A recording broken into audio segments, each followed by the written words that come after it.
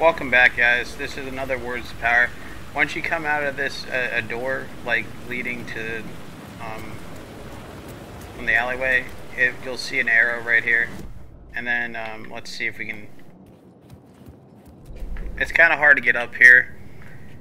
Uh, you have to change a couple lights, and you go up here, and you'll see arrows pointing to. Um, so when you see this big portrait, it's from the door over here and you'll see the arrow. It's pretty it's pretty hard to miss. So you just come up here